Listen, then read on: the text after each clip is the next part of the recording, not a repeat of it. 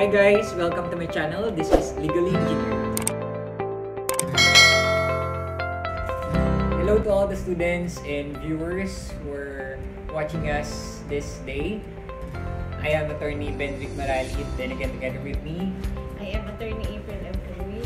And this is our second collaboration for this uh, online video lectures. And uh, this is our module 2. Yes.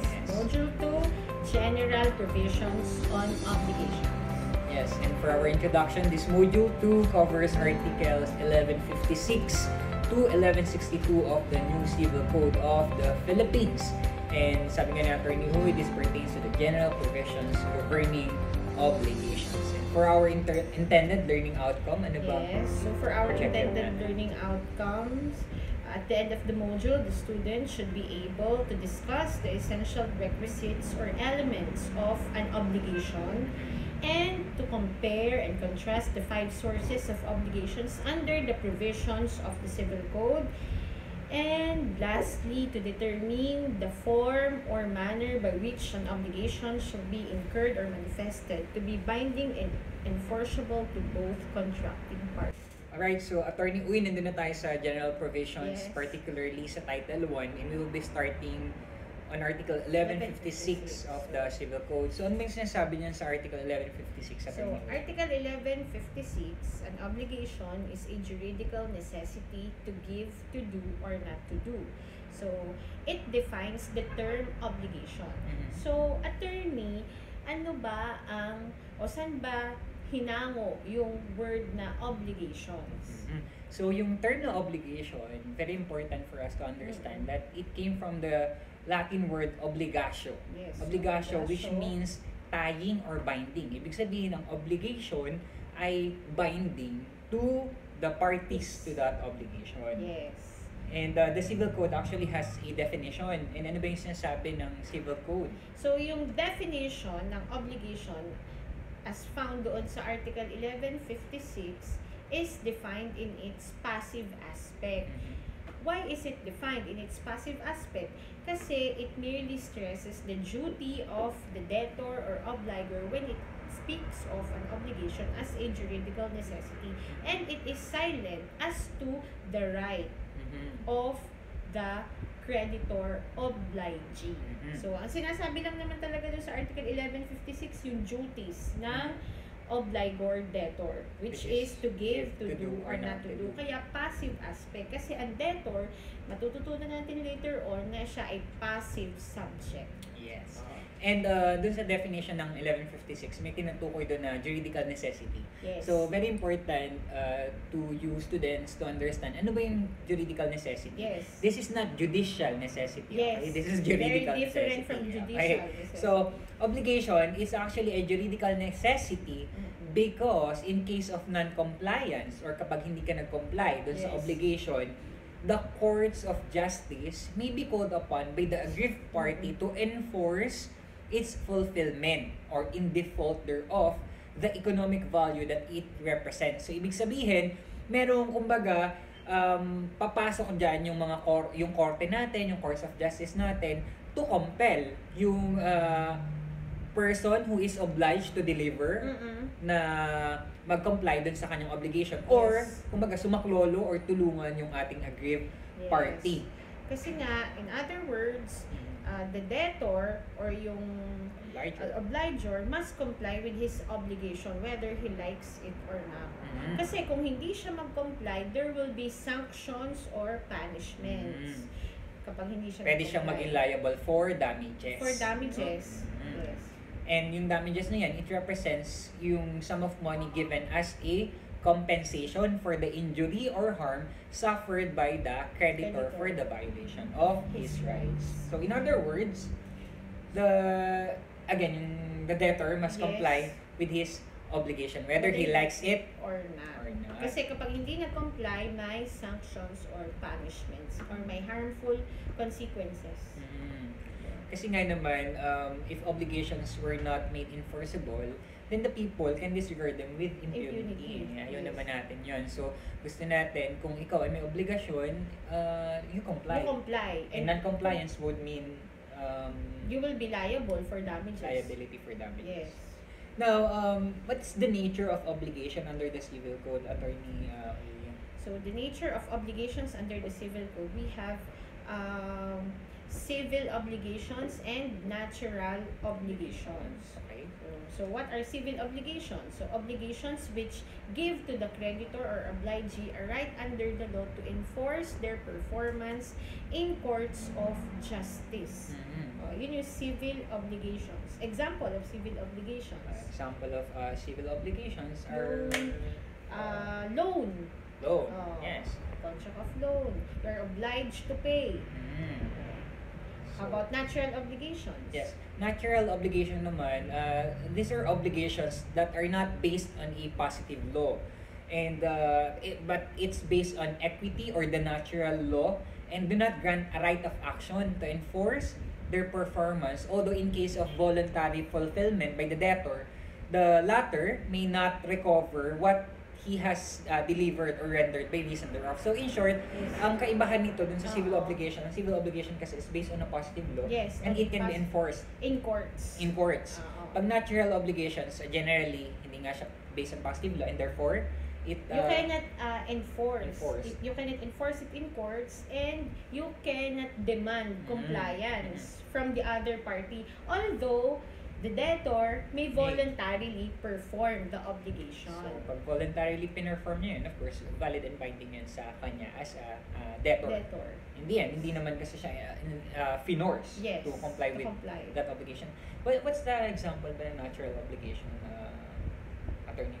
Natural obligations, pwede dyan yung um, quasi-contracts. Quasi contracts, Contracts yes. like solution indemnity Mm, and negotiatorium gesto. Yeah. Ah, mapapag-usapan natin yan pagdating Later sa on. iba't ibang uri na ng ano, Sources sources of of, obligations. obligation. Yes. So, guys, it's important for us to understand ng obligation, it has its essential requisites. Yes. So, no? bakit mahalaga yung essential requisites? Bakit kailangan nating aralin yun, yung essential requisites of an obligation? It's important para makita natin kung yung legitimacy of the obligation itself. Kasi in Yes. the absence of this essential requisites, ano ba mangyayari dun sa obligation na The obligation will not be binding or effective between the parties. So, kailangan may concurrence of all the four elements. In the absence of even one of Mhm. the elements, it will uh, it will not be binding. Valid binding. Oo. Yes, so there are four essential requisites. Mm-mm. First is a passive sub uh, subject, then an active subject, then Yes. object or prestation, or the and the juridical or legal tie. That's uh, PAOJ. Yes. Mm-mm. And uh, passive subject. Ano nga ba yung passive subject? So, Uh, passive subject natin kanina, as as mentioned earlier, yan yung debtor obligor. which means Which means the person who is bound to the fulfillment of the obligation. Yes. In short, he who has the duty. to perform. Yes. So, kung yung passive subject, siya yung debtor or obligor, syempre, yung opposite naman nun, yung active subject natin, natin that's yung the creditor, obligee. Siya naman yung person who is entitled to demand the fulfillment of the obligation. Ito naman, siya yung may right. Mhm. Yung ah, passive subject, siya yung may duty. Yes. Yung active subject, siya yung may right to the fulfillment. And of course, uh, na, at, ibig sabihin, yung passive at yung active, Mhm. sila na yung uh, parties, no? Sa Yes. ating obligations. Yes. And ang pinag-uusapan natin dito, or yung subject matter of the obligation, yun yung tinatawag natin ng object, Object or, or prestation. And uh, the conduct required to be observed by the debtor. Ito yung conduct na dapat gawin or i-observe ng debtor na meron tayo. It may Yes. consist in uh, Giving, doing, or not doing. And definitely, without a prestation, there is nothing Thing to to perform. perform. So, kailangan talaga mag-exist yung object or prestation. And then Yes. lastly, Lastly, we have the juridical or legal tie. Ito yung efficient cause or source of the obligation or what we call the vinculum juris. Mm. Uh, or Ito that yung which binds or nagbabind. connects the parties to the obligation. Mhm. So siguro para mas uh, mapalino natin na let's give an example. Yes, This is the perfect okay. time for us to give an example. So for example, under a building contract, Vice bound himself. Vice ganda ba yan? No, si Vice Si Vice Ganda. ganda. Vice Ganda bound himself to construct the house of Pastor. Pastor, sino pastor kilala mo? Ah, Marami kasi dito sa Batangas. Yung pastor mga yun. Pastor for 1 million pesos. So, si Vice, siya yung passive, Passive subject, subject. kasi siya yung debtor, siya yung obligor, siya yung person who is bound to the fulfillment of of, of the obligation at siya din yung may duty to fulfill And Ah. that duty is to to construct, construct the house. the No? house. So, si, kung si Vice yung ating passive subject, si Pastor naman dito yung active subject. Yes. Kasi siya yung may right to demand the Yes, fulfillment fulfillment. or the performance of the obligation which is to con- construct his house Yes. uh, which is due to that of uh, Vice. Mm-mm. And yung construction of the house, yun yung object or prestation. Yun yung doing. mm, Oh, yun yung to do. 'Di ba? Sabi na to do or not to do or to give. Mhm. Oh, so yung construction of the house, yes, yan yung object or prestation. Specifically yung to do, obligation to do. And uh, in this case naman, yung Ah. juridical or legal tie, yun yung building contract. Kasi Yes. usually, pag ganyan, merong uh, uh, contract, Contract. between the contractor, constructor, or yung building owner. Yes. No? And yun yung uh, juridical tie or yung legal tie na magbabind sa kanilang dalawa. Yes, yun Now, yung source ng obligation. Yes, that's the nila. source of the Yes. obligation. Suppose uh, Attorney Oy Vice um, had already constructed the house. Natapos na niya Oo. and it was the agreement that pastor would pay Vice after the construction is finished. Um, ano ngayon yung mangyayari naman? So magkakabaliktad ngayon yung kanilang posisyon. Si Mhm. Vice ngayon ang magiging active subject kasi siya na ang May right, may right which is to collect mm, the payment or Demand to demand payment. payment. At si pastor naman, siya kung siya dati yung Active. active, subject, ngayon siya naman ang magiging passive, Passive. subject kasi siya naman ang may duty to pay. mm, Oh, duty to pay the building, the Mm. construction of the building. mm. So, in in that case, ang object or Mhm. prestation naman na gagawin ni uh, pastor is the payment. The payment. The payment of Yes. the uh, money The corresponding- giving. The giving the na of the giving money. of the money. And uh, yung Oh. tie nila, juridical ties, Juridical ties, same. contract, The building contract. Building contract. Yan ay kapag na-perform na ni pastor or Ni ni Vice. Vice yung construction of the Mm. house. Magpapalit sila ngayon ng pwesto. Position. Alright, so um, uh, we hope malinaw sa inyo yun kasi Yes. very important na maintindihan ninyo yung passive, active, object, at saka yung juridical tie kasi as we go along, we'll be Yes, dealing with a lot of examples, no? Yes. And uh, kapag hindi malinaw yung basic na yun, yung foundation, medyo mahihirapan tayo. So, talaga. uh, maybe you wanna stop now and then i-process mo talaga Ah, kung ano ah. yung napag-discussion na Oo, natin. Okay? correct. So, now, um, as to form of obligations, Yes. uh, Attorney ano ba yung uh, form of an obligation? The form of an obligation, it refers to the manner by which an obligation is manifested or incurred. Mhm. It may be oral, it may be in writing, or partly oral, par- partly oral and partly in writing. So, are you saying, uh, Attorney Oy, na ano, pwede palang hindi nakasulat? Kasi So, ang ang thinking usually, di ba? Ang thinking ng mga Oo, bata kailangan. or ng mga tao, kailangan laging may kontrata May- nakasulat. May written, written contract. contract. Oo. Pero dito, um, So sabi, as a general rule, the law does not require an obligation to be in any form for its validity or binding force. General rule, hindi required na written. Mm. Pwedeng oral, pwedeng partly in writing, or partly in oral. Mm. Yun yung general rule. Although may exceptions Yes, dyan. Doon sa mga contracts na kailangan talaga na may written document. pag-usapan natin yung pagdating sa contracts. diba? Yes, we will talk about contracts, yes. So, ngayon naman, um, um, we have to distinguish ano ba yung obligation, yung right, at saka yung wrong. Yes. Kasi dito, pag-usapan natin ano ba yung mga obligasyon, ano ba yung karapatan, at ano, Ano ba ba yung, yung- pwedeng mali, or Mali, wrong oo, na wrong. makommit. Legal wrong. Legal wrong. na. Yes. So, ang obligation, again, this is the act or performance which the law will enforce. I-enforce ito ng batas doon sa ah, tao who is obliged or yung may obligasyon To give, to do, to or give, not. to do, or not to do. Lagi tayong babalik doon, no? To give, to do, or not to do. Now, what is this right? So right is the power by which a person has under the law to demand from another any prestation. So, we have to start with the right. Kasi kung wala kang karapatan, Wala kang right, Yes. You have no, or the other party has no obligation. In short, alamin mo kung saan ka lulugar. Yes. Oo. dapat Lumugar. ah, lumagar. Oo, lumugar. Dapat dapat may karapatan ka. Baka may Ah. pinaglalaban ka, wala ka naman palang karapatan in the first Oo place. nga. So, but there are instances wherein there can be a legal wrong. no? Yes. At ano tong legal wrong na tinutukoy? Yung legal wrong or yung cause of action, it is an act or omission of one party in violation of the legal right or rights of another. Mm, So, act, ginawa, Yes. omission, hindi, Hindi ginawa. ng So, isang naka, may wrong ka pala kapag kahit hindi ka gumawa, pwede ka palang mag-commit ng wrong. Mm, Kasi kapag Oo. obligado ka under ng law na gawin mo yung isang bagay at hindi Hindi mo ginawa, ginawa. that's considered a legal wrong. Yes. Pero may- omission, you yes. committed to Yes. do. Meron kasing requisites or elements din itong legal wrong. Yes. Dapat mag-exist to para magkaroon ka nga ng Cause of cause of action. action. Yung cause of action, guys, yun yung kailangan na meron ka bago mo idulog yung, yung uh, iyong kaso, yung kaso sa, sa korte. korte.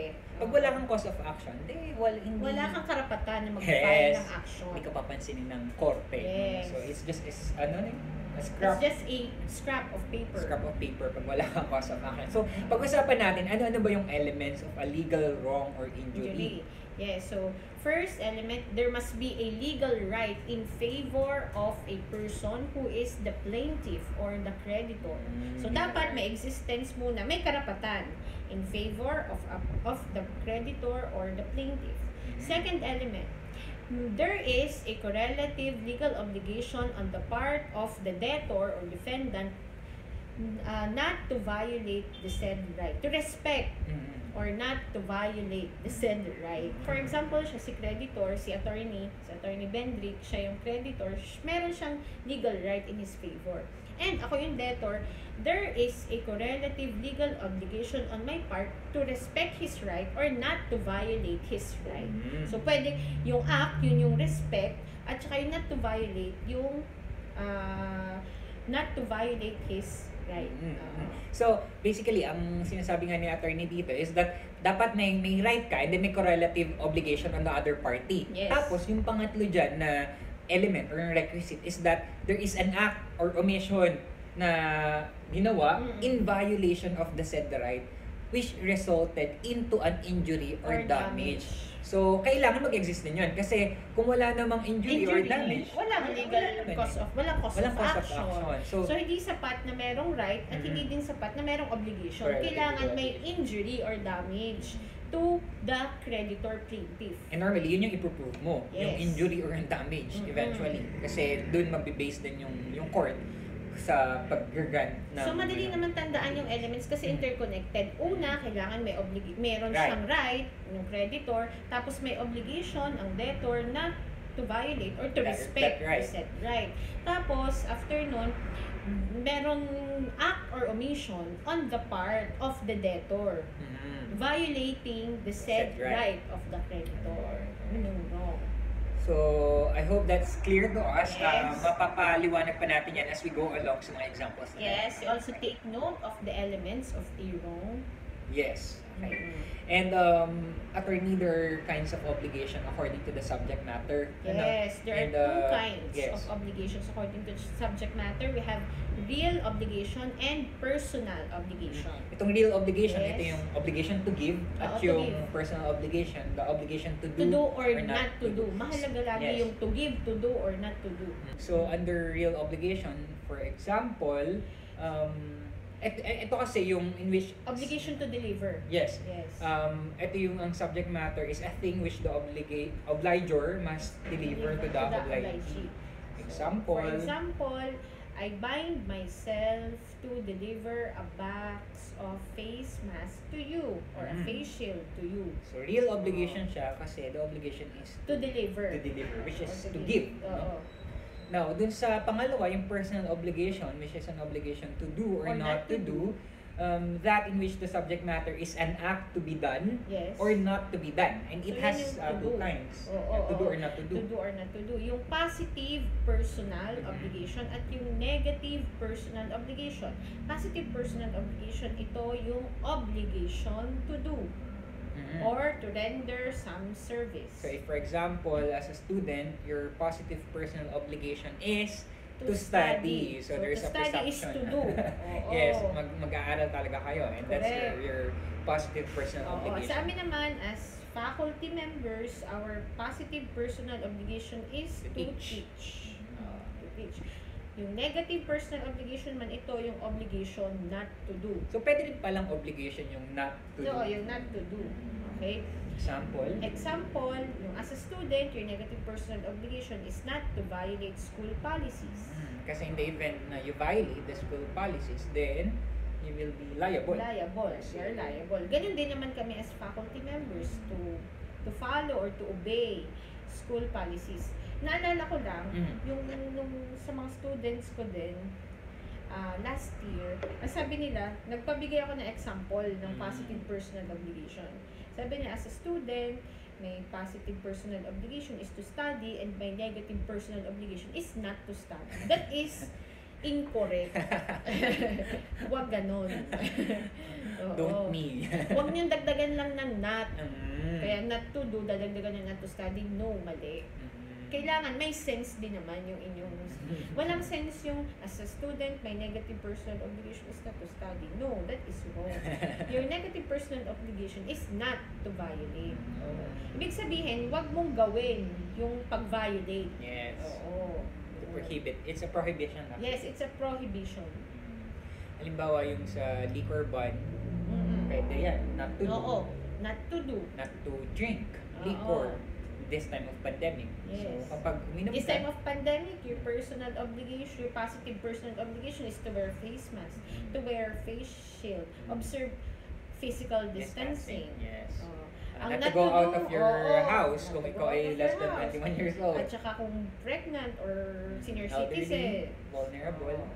Mm. Stay at home, timbahay. Yes. Negative personal obligation mo naman nga, stay na nga. Yeah. Um, Not to go not, out. not to go out. Oo. Yes.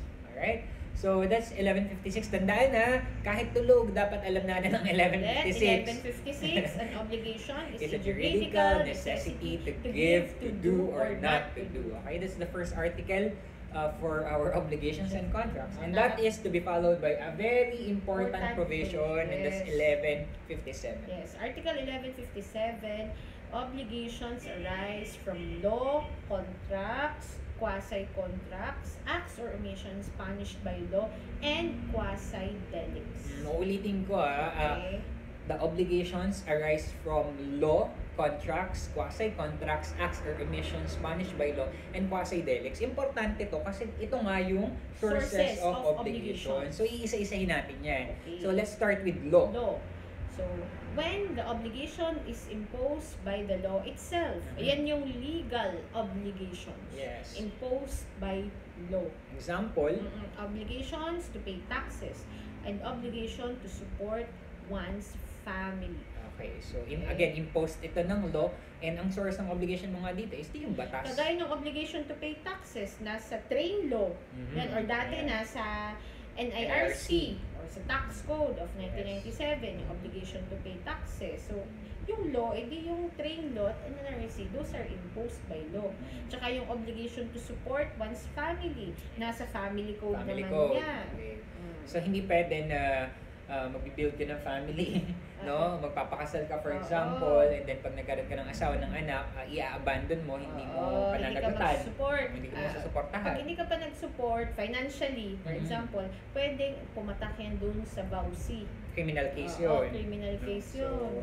take note of that. So, that's the first law. And then, another source of an obligation is contract. Ito yung Yes. medyo familiar talaga. Yes, yung mga tao na. contracts. Contracts, when the obligation arises from the stipulation of the parties. Ibig sabihin, agreement, agreement, ng usapan ng ah, partido. Yes. Example nito, the obligation to pay indebtedness by virtue of a contract or an agreement. Yes. Indebtedness, that means yung pagkakautang. No, kung halimbawa may ut, na, nangutang of ako, loan. yes, contract of Oo. loan, nangutang ako kay Attorney Oy, uh, we have an undertaking, a contract of loan, and then therefore I have an obligation to, To pay, pay.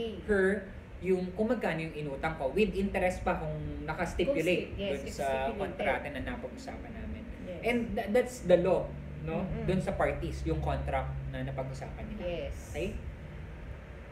What's So- the next one, attorney? So, yung third source of obligation natin ay quasi-contracts. Parang When- bago sa pandemic yes. pasa eh. When the obligation arises from lawful, voluntary, and unilateral acts which are enforceable to the end that no one shall be unjustly enriched or benefited at the expense of another. Mm. So yan, merong anti-unjust enrichment. Mm. Oh. So, yun yung quasi-contracts, no? Kapag daw yung obligation mo nga ay nag-arise from a Lawful, lawful, or voluntary, and unilateral acts. Yun. Mm. So, uh, actually covered to ng Article 2142 of 42. the Civil Code. So, Yes. example nito, halimbawa, um, Attorney Uy, habang naglalakad ka, Oo. may nakita kang wallet, Oo. no? At yung wallet ay limpak-limpak ang perang nasa o kahit loob. wala man laman. Oh, kahit wala. Oo, kahit Sige. wala The fact na may nakita kang wallet, Oo, na hindi um, sa'yo. pwede bang sabihin ko na thieves? ano? Akin Pwede na lang. naman, Pwede. pero But, pero it is ah, not lawful. not Oo, lawful. not lawful. Kasi sabi, kailangan i-turn over mo yan. You have to return the money paid. Or Okay. we have to return the The wallet. wallet. Oo. O, halimbawa naman, dun sa ut- utang ko kay attorney, uy, may utang ako Oo. sa kanya, let's just say, 10,000 piso. Yes. And then, uh, by mistake, uh, nabayaran ko siya ng 20,000 kasi Oo. ang dami kong utang. so, akala ko sa kanya ko na utang yung 20,000. 20,000. So, nag, nag-issue ako sa kanya ng cheque worth uh, 20,000 pesos. 20,000. So, ito naman si Yes. attorney, uy, nakita niya ba 20,000? Pwede bang si attorney, uy, hindi niya isole sa akin yung excess na 10,000? Under sa quasi-contract, Mhm. as a source of obligation, you are bound to return what is Mhm. paid by mistake. O, yan yung ah, solution indemnity. So, kasi Oo. nga, To iniiwasan avoid natin yung unjust unjust enrichment. Kasi unfair naman na Oo. ikinayaman mo ng 10,000 yung pagkakamali na pagbabayad, Pagbabayad, ng kabila. Oo. O, halimbawa na lang, para mas madali, nagbayad ka ng pamasahe sa jeep. Mm.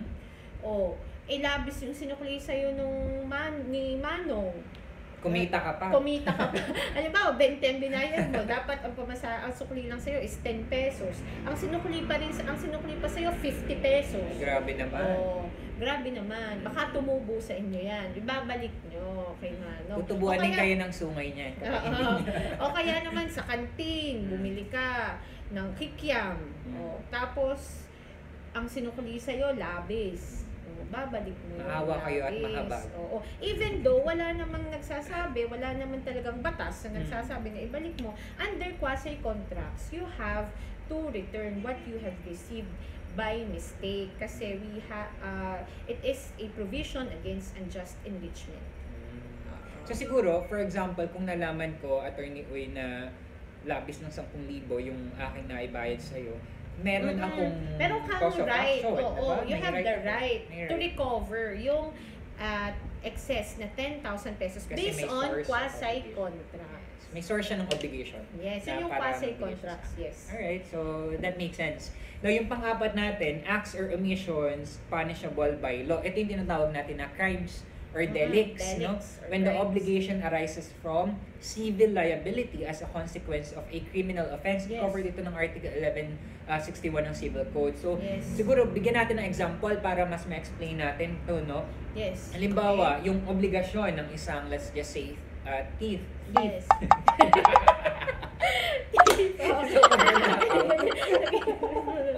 Di ba? Yung isang magnanakaw, di ba? Mhm. So, um, pag nagnakaw siya, ano ba yung obligasyon ng magnanakaw Oo. na to?